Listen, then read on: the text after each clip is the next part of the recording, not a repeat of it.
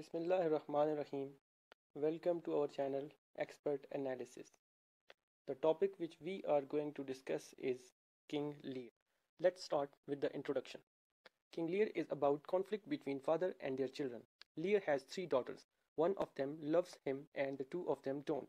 He gets angry to the good daughter, Cordelia, and gives his kingdom to the two bad daughters, Goneril and Regan. Once, once they are in charge of the kingdom, the bad daughters are mean to Lear and send him outside in the storm by himself. The other father is Gloucester. His son is, is one of the son is a, a, a nobleman, and the other son is Edmund. He is a bastard. Edmund, the younger one, is a bastard, and the Gloucester committed adultery, and Edmund was born at the wedlock because he is a bastard. The world looked down on him Edmund wants to change the situation so he makes a plot to get rid of his father and brother so he can inherit Gloucester's money and his title. At the beginning of the play, Gloucester introduces his son to the nobleman Kent. Gloucester explains that Edmund is a bastard and it is clear that Gloucester is embarrassed by having Edmund uh, having admit he have a he have an affair. Act 1 King Lear announces he is going to be giving up being king and divide the country between his three daughters. He has the country all carved out at the map already, and he wants each of them to say how much they love him, so he can act like he is giving given them the portion based on who loves him the most. Goneril and Regan lie and say they love Lear more than everything, but Cordelia, who actually does love him, won't do it. She says she loves him as much as one loves her father no more, no less. Lear is furious with Cordelia. He tells her she is not his daughter, and Goneril and Regan will divide up his portion. He announces he wants to keep 100 knights as his followers and is going to spend his remaining days visiting Goneril and then Regan for a month at a time. Kent tells Lear he is acting crazy and he should change his mind. Lear tells him to shut up, but Kent says he doesn't care what Lear does to him. Lear is making a huge mistake, and Kent is going to speak up about it. Lear tells him to get out of the kingdom, and if he is caught in the England again, he is dead. The King of France is visiting Lear, and he takes Cordelia to be his queen. Even just Lear disowned her. Edmund decides he, uh, he is tired to be a second class citizen just because he is a bastard, and he is going to do something about it. He posted a letter from brother Edgar, suggesting that Edgar wants to kill Gloucester so that he can inherit his lands. Gloucester tells Edmund to go find Edgar so he can explain the letter. Edmund does find Edgar, but he tells him Gloucester is furious about him. So he needs to hide until the Gloucester calms down. Edmund hides Edgar in, in his own uh, room. Lear is now in the Goneril's castle. Goneril tells in his uh, uh, tells one of her chief servants, Oswald, that she is sick of Lear's knights being at her house. Oswald should make sure everyone gives Lear bad service. Kent doesn't leave the country as Lear had ordered. Instead, he disguises himself and as a poor man and shows up at Goneril's house, offering to be Lear's servant. Lear gives him a chance. Oswald is rude to Lear, turning his back and leaving when Lear calls him, and treating him like as he is just Goneril's father and not a king. Lear hits Oswald, and then Kent trips him, which makes Lear happy. Goneril confronts Lear, telling him his followers are unruly and disorderly, which infuriates her. She dismisses 50 of them without even consulting Lear. Now, the Act 2. Lear is expecting to still be treated like a king, so he is actually in tears after being treated like this. He tells Goneril she is degenerate bastard and not his daughter, and he loves and he leaves with his followers to go to Regan's house. Goneril writes to her sister to warn her that Lear's, uh, Lear is coming, which prompts Regan and Cornwall to leave their house to visit Gloucester. Goneril's husband, the Duke of Albany, is upset that Lear left in anger. Edmund tells Edgar to run away, their father is coming. He calls for help, and before Gloucester arrives, he cuts himself to make it look like Edgar tried to kill him. Regan and her husband, Cornwall, left home to avoid hosting Lear. Cornwall tells Gloucester he will use his resources to help arrest Edgar. Kent and Oswald get into a fight. Kent was sent ahead by Lear to tell Regan Cornwall that uh, Cornwall knows that Lear is coming. Oswald was sent by Goneril to warn them to avoid Lear.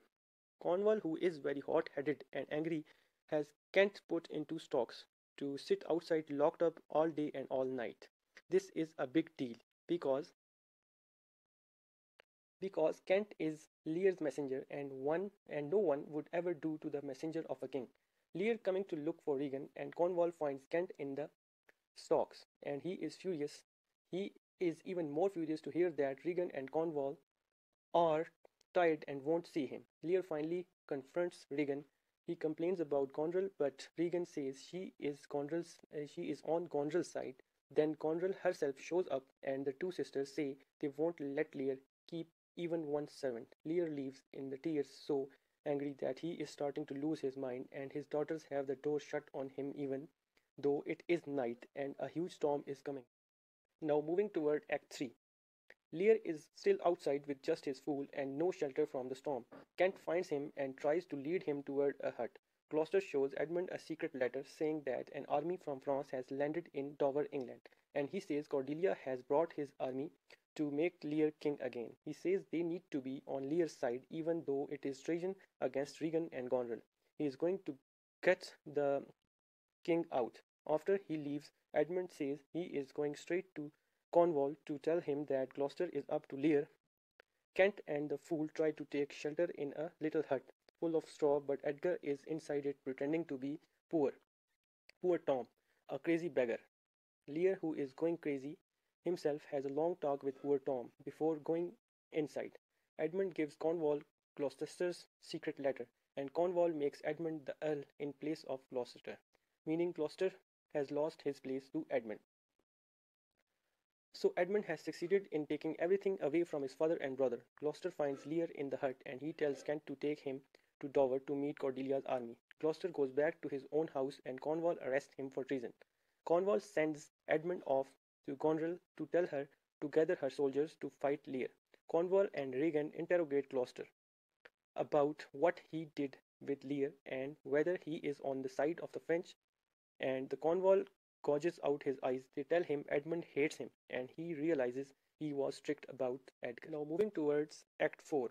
One of Cornwall's servants tries to stop him and he wounds Cornwall with a sword before Cornwall kills him. Cornwall and Regan send Gloucester on his way, but Cornwall's wound, Cornwall is wounded and will soon die. Edgar, still pretending to be poor Tom, sees his father and starts guiding him towards Dover. Gloucester wants to go there to throw himself off the highest cliff. Goneril is trying to get ready for a war against Lear. But her husband Albany doesn't want to fight since he thinks Lear is right and Goneril is worthless and horrible. Goneril herself would love to be to get rid of Albany because she is fallen in love with Edmund. When she hears Cornwall is dead, she gets jealous of Regan because she thinks Regan will try to seduce Edmund. She uses her servant Oswald to carry love letters to Edmund. Regan is in love with Edmund too, and she tries to get Oswald to show her Goneril's love letters. She tells Oswald to kill Gloucester if he can find him because they should have killed him before. Edgar tells Gloucester he is at the top of a cliff, though he is actually not. Gloucester tries to throw himself off the cliff and lands on his face.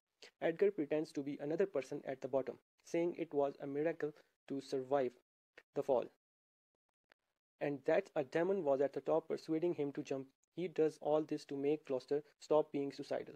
Lear comes in and talks to them. Lear is insane and Cordelia's soldiers tries to catch him. Oswald tries to kill Gloucester, but Edgar kills Oswald instead. He finds he finds uh, on Oswald's body a letter from Goneril in which Goneril promises to get rid of Albany and marry Edmund. In the last act, Cordelia's followers have caught Lear and given him drugs to sleep. Try to cure him. She wakes him up and apologizes just before the battle with Lear's forces.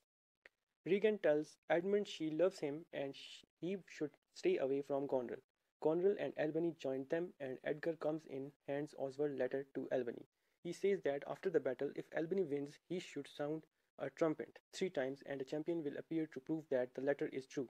What Edgar is actually talking about is trial by combat, a tradition that says if a knight is accused of something he can fight with. His successor and the winner must be right because God made them win. Edgar is accusing Edmund of treason, and he will fight Edmund to prove it. Cordelia's forces lose and Lear and Cordelia are captured. Edmund gives a captain order to kill them in prison. Regan and Gondrel start arguing over which one of them gets Edmund. Regan says she wants to marry him, but Albany says she cannot because his own wife has promised to marry Edmund already. He accuses Edmund of treason. Regan is getting sick anyway because Gondrel has poisoned her. A trumpet is sounded and Edgar appears to fight Edmund, and he is a traitor as Regan has carried off. Edgar defeats Edmund and Albany shows Gondrel's letter to her. She runs off and kills herself. Edgar reveals his true identity, and Kent arrives on the scene. A servant brings the news that Gondrel and Regan are both dead. Gondrel stabbed herself after poisoning Regan. Edmund decides to do something good before he dies, so he tells them to go save Lear and Cordelia. Lear comes in carrying Cordelia's body. They were too late to save her. Kent tries to tell Lear that he was the loyal servant, but Lear lost his mind again and doesn't understand. Lear dies and Kent says he plans to join him soon. Edgar and Albany are the last people left to rule Britain. And this is the end of Act 5. Thank you.